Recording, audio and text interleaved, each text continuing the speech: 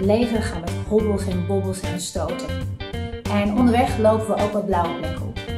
In het clubmagazine deel ik een van mijn grootste blauwe plekken met jou. En ik vertel dan ook hoe onder andere yoga mij heeft geholpen om je snel te herstellen van een lang ziekbed. Dus mocht je dat interessant vinden, lees dan het artikel. En wie weet zie ik je ook nog terug tijdens mijn yoga workshop.